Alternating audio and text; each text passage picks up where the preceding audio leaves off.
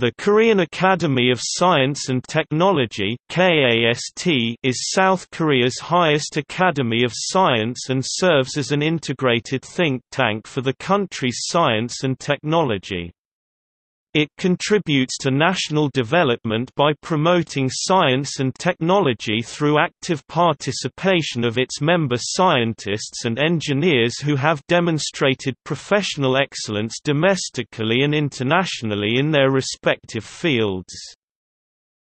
KAST will contribute to the globalization of science and technology by playing the role of the principal contact point for international cooperation and information exchanges, through bilateral and or multilateral academic exchange programs with foreign academies, public semi-scientific lectures and «Science Hall of Fame» program, cooperation with international scientific and technological organizations, and friendly relations and exchanges with overseas scholars.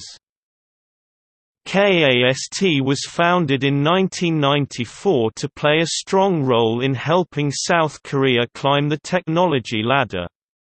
KAST has also served to encourage cooperation between scientists in South and North Korea in the science and technology sector. The non-profit institute has also strengthened global cooperation by operating the Secretariat for the 17-member Association of Academies of Science in Asia since 2000.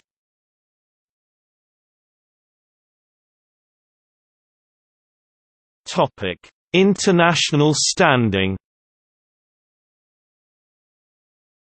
KAST is an internationally recognized academy of science.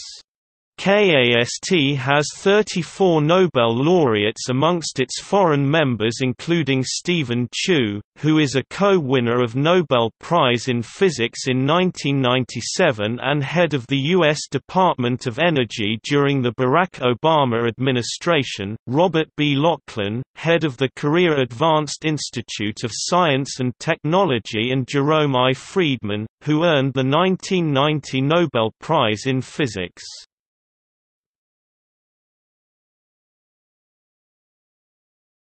Topic: Awards. KAST and DuPont Korea cooperate in awarding the DuPont Science Award. The award recognizes South Korean scientists' contribution to scientific studies and advancement in the country and serves to encourage further excellence.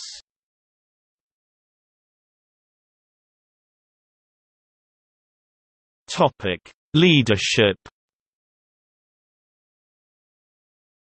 Chung Koon Mo, former a department head at the International Atomic Energy Agency (IAEA), took the helm of the Korean Academy of Science and Technology (KAST) in February 2004 at the state-sponsored institute's headquarters in Bundang, Gyeonggi-do.